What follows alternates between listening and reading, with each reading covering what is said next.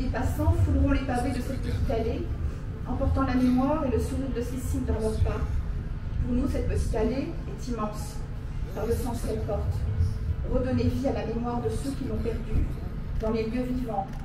Une rue, une allée, un parc, un square pour enfants, une école, un lycée, dans tous ces lieux, la vie, transmission de la mémoire.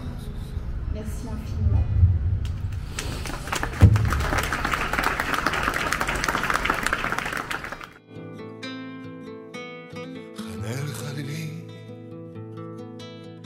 Elle tombe au pied du bazar. El Khalili. Sans art. Sans défense.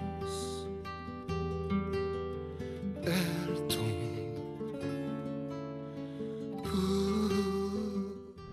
Cécile fait partie euh, euh, de, ces belles choses qui nous fédèrent et, et cet hommage aussi, ça, permet de le rappeler euh, et, j'y tiens beaucoup. Alors on va dévoiler cette plaque ensemble dans quelques, dans quelques secondes.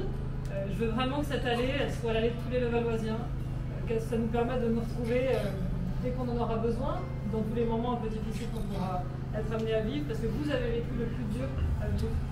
Euh, Jean-Luc et Catherine, vous avez perdu un enfant, votre enfant unique, Cécile, qui était euh, cet enfant magnifique et souriante que, nous retiendrons. Cette photo euh, est extrêmement révélatrice.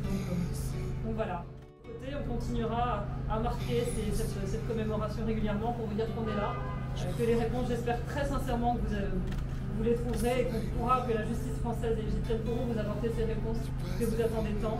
Nous, en tout cas, on restera à vos côtés. Euh, Cette allée, elle est là et euh, ce sera notre point de rassemblement chaque année.